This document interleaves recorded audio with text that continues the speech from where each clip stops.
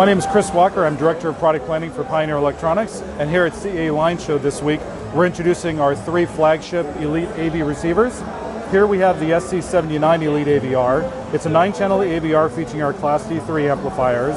Uh, this year, some of the new uh, changes we made from last year's model. The first is that we've incorporated our uh, the new ESS Sabre 32 audio DACs, which is considered to be the best DAC in the industry. Uh, but really exciting here is we've actually boosted the multi-zone performance. So this new Elite receiver actually allows you to power up to four individual zones throughout the house, and we've simplified the process by updating our iControl app to allow very easy control over this.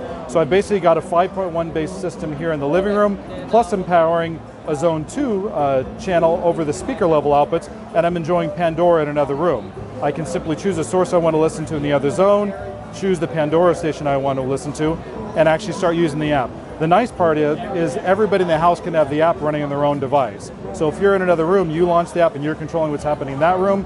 If you're in the living room, you have your own app and you can have four apps running at the same time.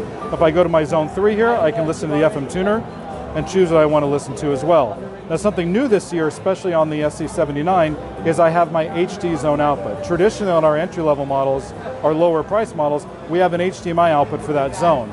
What's new about the SC79 this year is it's the world's first receiver to utilize HDBaseT as the zone output.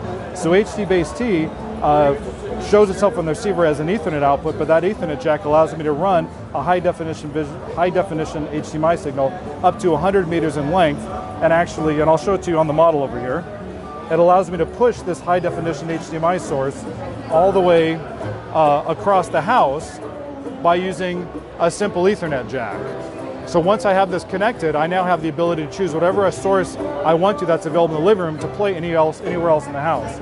If we come over here, in the extra zone room, we'll have an HDBaseT receiver that'll convert the Ethernet jack back into an HDMI source. I've got a Roku stick here, and from here I can actually use the Roku remote to control what's happening in the other zone. But it completely simplified the, the process of running a very long HDMI cable with amplifiers and the cost associated with that by building the HDBaseT, the spec that all the CI guys use, into the actual AV receiver.